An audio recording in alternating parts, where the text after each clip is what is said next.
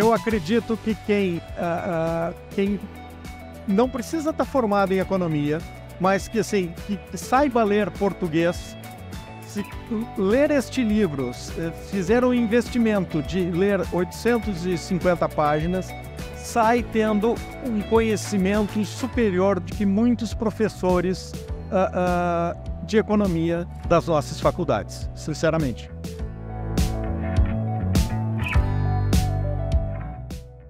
Este é o Tapa Talks 2023, uma realização do Tapa da Mão Invisível em parceria com o Fórum da Liberdade, o maior evento de debate de ideias da América Latina, que ocorre todo ano em Porto Alegre. Seja muito bem-vindo, meu amigo Paulo Fux. Olá, Júlio Santos. Neste episódio 4 da série Tapa Talks 2023, trouxemos André Burger, tradutor do Indivíduo, Economia e Estado, de Murray Rothbard, brilhante economista e historiador econômico, além de pai do anarcocapitalismo. Este episódio é um oferecimento de Neugbauer. O verdadeiro chocolate vai além do paladar. E a Neugbauer, a primeira fábrica de chocolates do Brasil, entende o valor disso.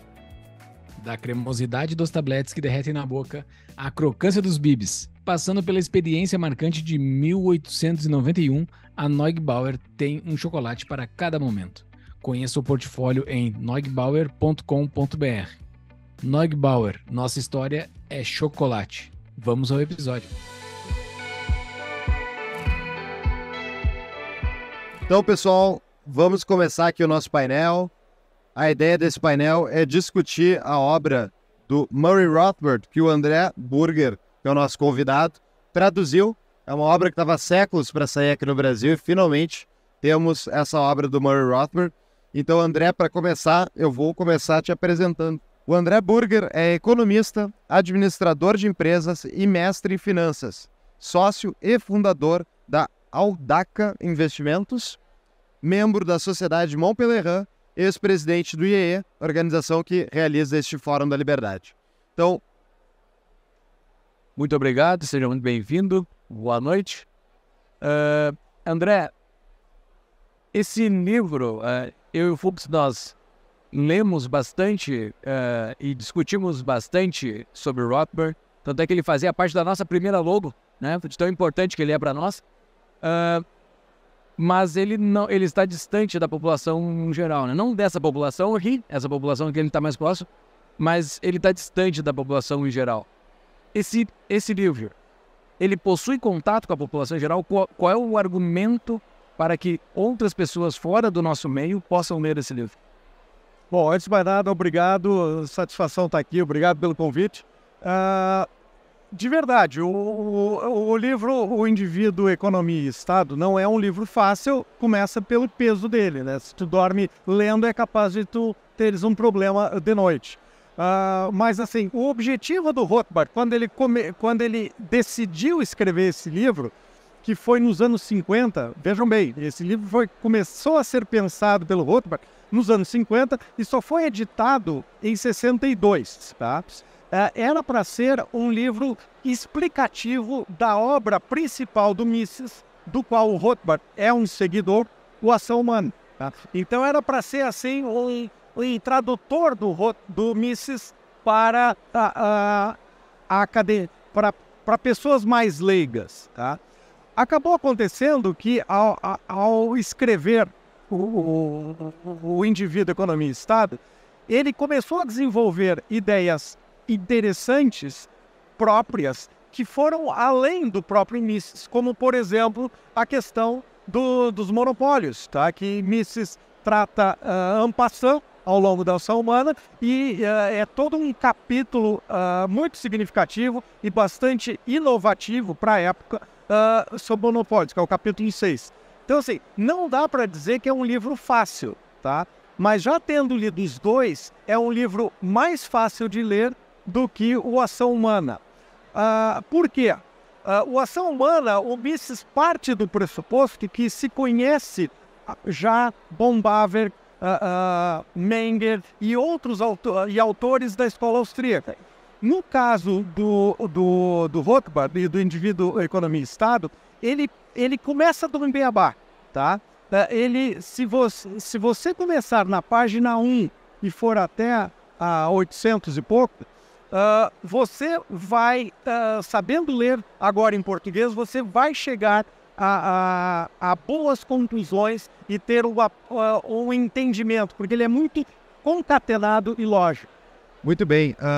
Como o Júlio bem citou, eu e o Júlio, nós somos fãs do Rocker. Eu, eu não vou falar pelo Júlio, eu sei que ele é também, mas eu sou anarcocapitalista. Eu acredito que voluntariedade é a única maneira de tu ter uma sociedade civilizada, é através de relações voluntárias, pacíficas, né? E isso tá, vem do Rothbard, essa inovação que ele deu, justamente de como ele enxerga o Estado. Então, assim, eu gostaria que tu desse para nós as tuas palavras, como é que tu enxerga o Rothbard e a importância dele para os temas da sociedade depois de se aprofundar? Tá. Uh, o Rothbard é tido como um dos principais uh, teóricos do, do, libertarianismo americano. Tá? Uh, uh, Rothbard teve uma origem econômica formal com Mises, ele, ele é, pode ser tranquilamente considerado um dos principais autores da escola austríaca, apesar de ser americano. Tá? E, e Rothbard teve um, uma influ, recebeu uma influência muito grande de Ayn Rand, que depois, por outros motivos, ele veio a se distanciar. Então, assim, filosoficamente, ele se aproxima muito uh, do objetivismo, Tá? E uh, economicamente, né, pela teoria econômica, ele uh, assim, é um filho uh, do Mises. E, o, e a importância dele, tu, como é que tu enxerga a importância dele cultural, por exemplo, o impacto das ideias dele? Que hoje a gente está aqui discutindo, ele já faleceu, foi em 93, eu acho que ele morreu.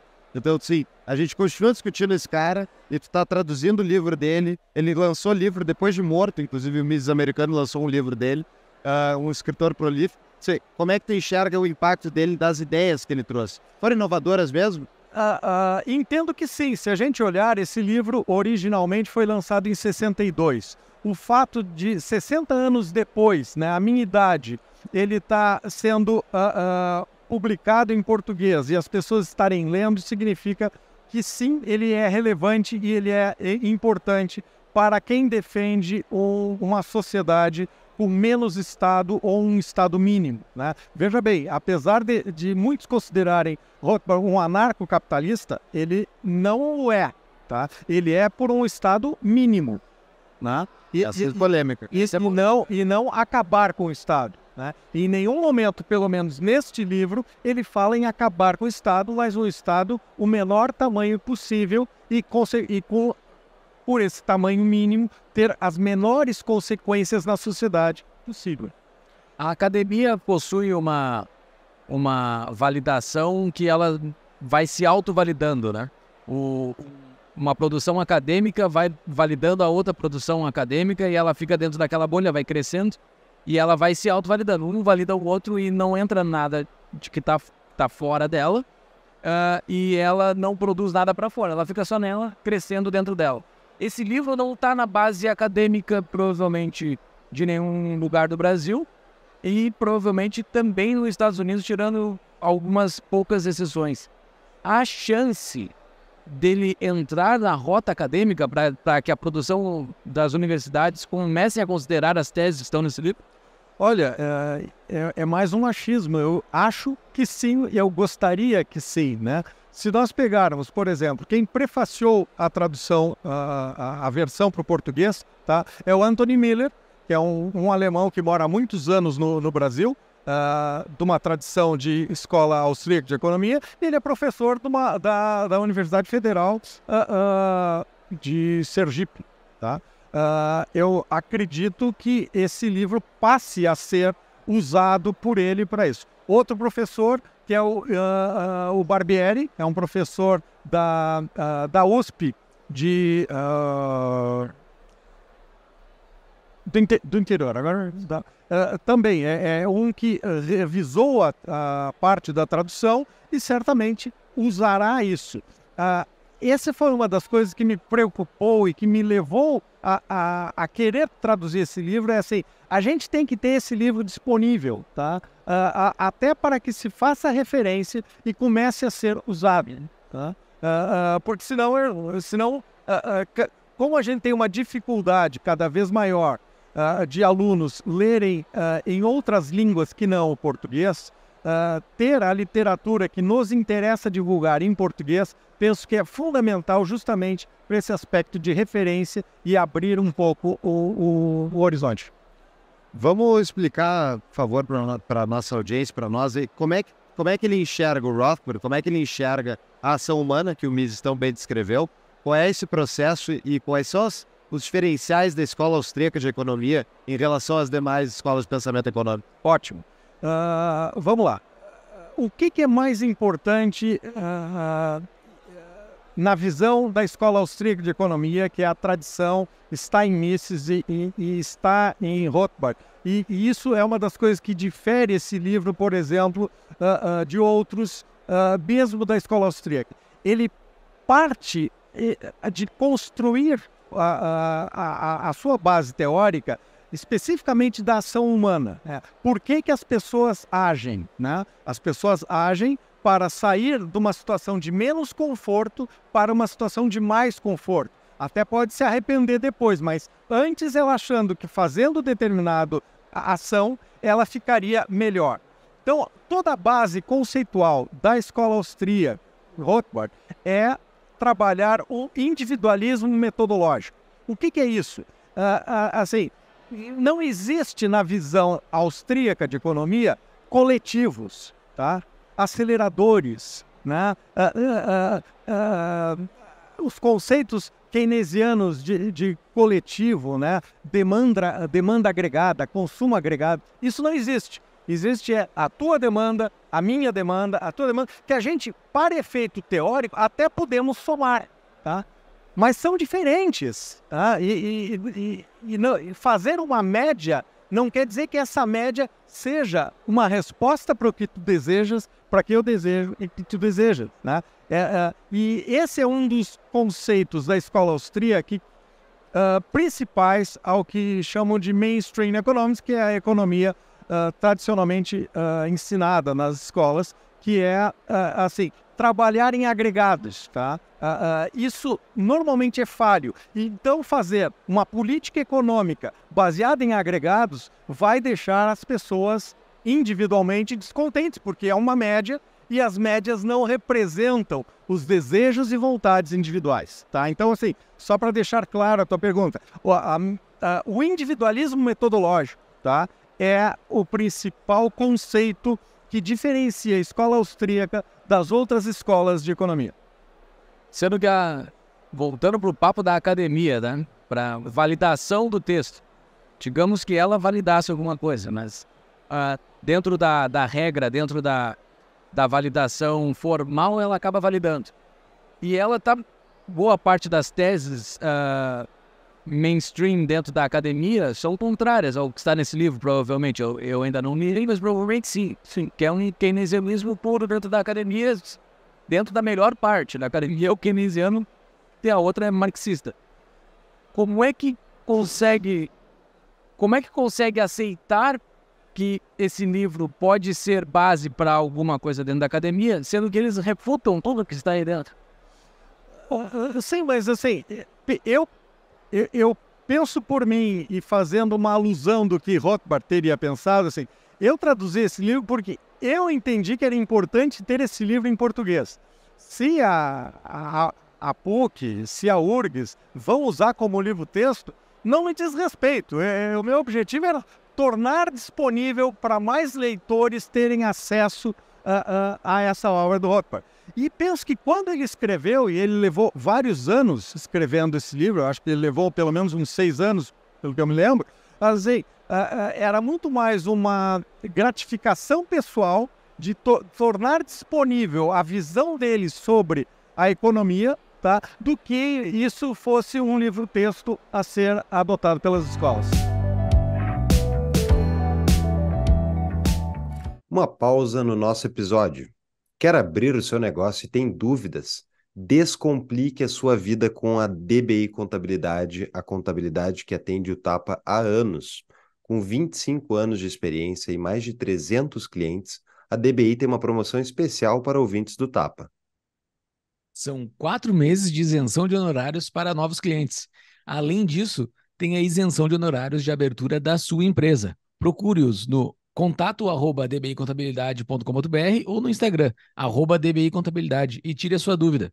Voltamos ao episódio. E tu aprendeu alguma coisa que tu não sabia com este livro? Teve alguma tese nova que chegou a ti, assim? Uh, sim, uh, de novo, a, uh, ele é muito detalhista no que eu comentei, o capítulo 6, sobre teoria do monopólio, que vale a pena ler, tá? E outra coisa, as críticas dele ao keynesianismo, que até anotei aqui, e no capítulo, no capítulo 12, é, é, é um primor, vale a pena ler, porque assim, permite um bate-pronto para quem vem discutir economia contigo numa base keynesiana. É muito divertido.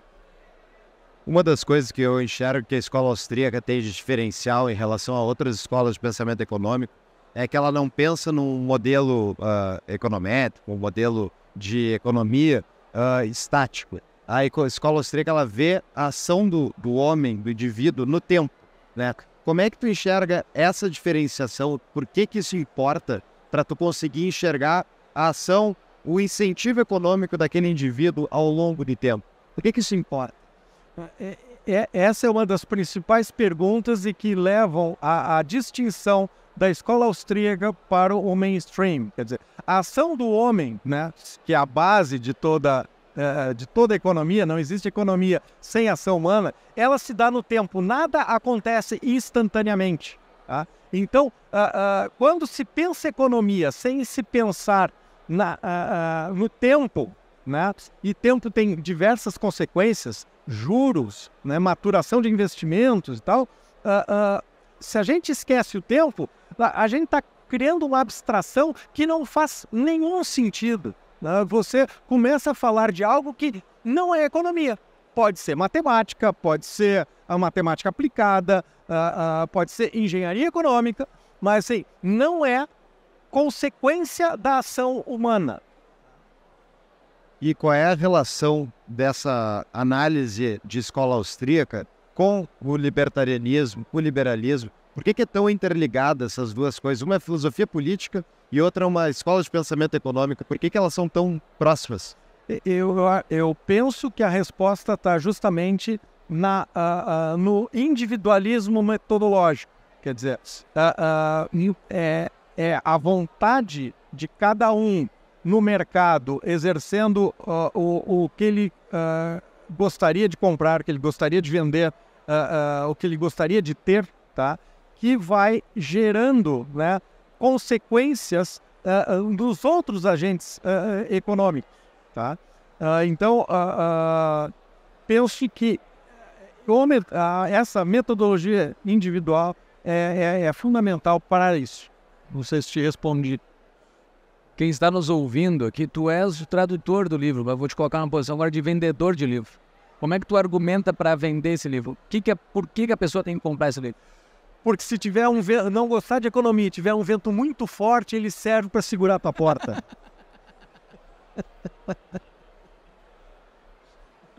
Valores são subjetivos, né? É, ele é mais bonito que um, que um tijolo. Exatamente. Não, assim, de, de verdade, tá? Uh, eu acredito que quem, uh, quem não precisa estar tá formado em economia, mas que, assim, que saiba ler português, se ler este livro, fizer um investimento de ler 850 páginas, sai tendo um conhecimento superior de que muitos professores de economia das nossas faculdades, sinceramente. Acho que eu, eu me formei em economia, formei aqui na PUC, e eu saí odiando a economia. achava horrível, não fazia muito sentido para mim. Aquela, aquelas questões justamente dos agregados, de fazer as formulazinhas matemáticas. Isso. Ah, se mexer aqui, vai dar isso, vai dar aquilo. Como se as pessoas fossem simplesmente peões que vai mexendo lá na macroeconomia. Não, e, e, sempre com uma palavrinha que a gente aprende quando faz economia, que é o tal do ceteris paribus. Mantido todo o resto constante, se eu fizer isso dá certo. Só que nunca dá certo, porque nunca se justamente pelo tempo e pela ação humana, nunca as coisas se mantêm constantes. Não existe isso, né? um ser humano. E uma das questões que eu mais gostei daí, eu me apaixonei por economia ao ler Escola Austríaca, porque fez sentido para mim, faz, explica como é que o indivíduo age. Uma das coisas que é base da Escola Austríaca, que tu citou antes, é que os valores são subjetivos. Eles são subjetivos ao indivíduo. Por, que, que isso é tão diferente em relação a outras análises econômicas? Por que, que importa tanto a gente entender a subjetividade humana? Porque, a, a, primeiro, a subjetividade humana, ela respeita a individualidade, ela, ela tá, é intrínseca, tá? Uh, e se, e se uh, as vontades, os desejos são individuais, tá? Como é que tu vais tratar disso em agregados? Né? A, a ciência econômica tradicional trata de, de demanda agregada, consumo agregado, uh, produção agregada. Cara, não, não existe, na verdade, isso. Né? Existe a produção daquela empresa e aquele trabalhador dentro daquela empresa. Né? Isso faz total diferença. E ignorar isso gera conflito social, né? Porque quando tu determina coisas top-down e diz, olha, vocês todos são tudo uma, uma média da população e a gente vai impor tal coisa. Tu não está gerando problemas na sociedade? sem dúvida. E, e parte do pressuposto, digamos que todos os fabricantes de livros são iguais. Quando tem uns maiores, uns mais eficientes, outros menores, alguns têm acesso à matéria-prima mais, mais barata, outros não. Então, tratar todo mundo igual tá, é, é um erro metodológico que faz com que a, a, ciência econômica tradicional é, é uma teoria não aplicada à realidade e, consequentemente, vai falhar ao planejar. Né? Uma boa maneira de você identificar um, um economista austríaco é uh, perguntar para ele qual vai ser a inflação, porque economista adora dar palpite, é, qual, é infla... qual é a inflação dos próximos 12 meses. Se ele for um mainstream, ele vai dizer que vai ser 8,42 um austríaco nunca vai dizer um número, tá? Vai dizer, a tendência é aumentar porque está se imprimindo moeda e, e, e ele te justifica isso. Mas ele jamais vai te dar um número porque não faz sentido calcular esse tipo de coisa depois da vírgula. O, uma das questões que eu acho que é mais interessante dentro da escola austríaca, André, é, que eu vejo, é a, a, análise da importância da moeda forte versus a moeda fraca, né? versus a moeda inflacionária. Por que, que isso importa? Quais, quais são as consequências da sociedade de ter uma moeda fraca, desvalorizada constantemente?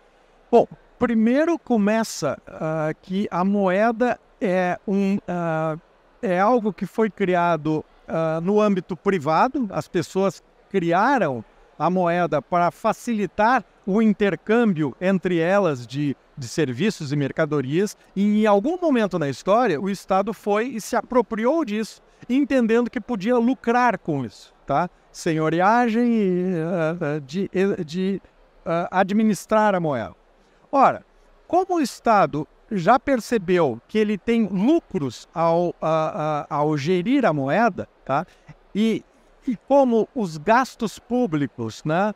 Uh, num governo democraticamente eleito tendem a crescer, porque assim, com isso tu satisfaz um, um eleitorado maior, consequentemente, para uh, o governo gastar mais, ou ele aumenta imposto, ou ele emite moeda, tá? Emitir moeda é uma maneira uh, sem vergonha uh, de taxar a sociedade, ou seja, tu imprime moeda, o primeiro a gastar esta moeda é o Estado, consequentemente, né, ele se aproveita dessa inflação as custas de quem? Do poder aquisitivo de todos os demais.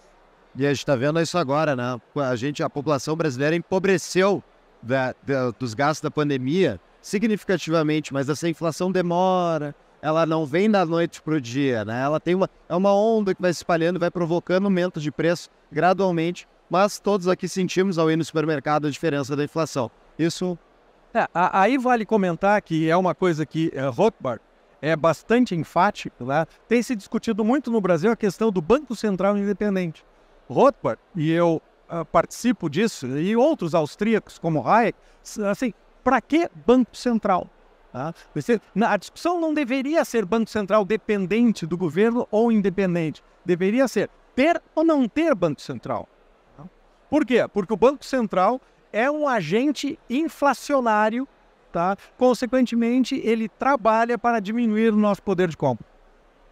É isso aí. Amanhã vai ter a assinatura do teu livro aqui. Que horas? Ah, Não, não tem assinatura porque assim, eu não sou Chico Xavier para virem para Rothbard psicografar. não veio hoje. Eh, Não, ele não veio, ele não veio. Mas tu vai assinar o livro da tradução que tu fez. Não, eu, eu assino para quem, quem quiser, obviamente que eu assino, mas não vai ter sessão de autógrafo, obviamente. Que horas? Tá à venda onde? Ali, no Instituto Mises. Feito. Ah, amanhã tu vai receber o pessoal que horas? Não, eu- me encontre por aqui, eu não, não tenho uma, um horário, não está marcado uma sessão de autógrafos, tá? Não, acho que não era o caso. Bem, pessoal. Parabéns pelo trabalho, parabéns por Obrigado, obrigado a vocês. pelos obrigado a vocês. Obrigado. Leiam Rothbard. Valeu, pessoal.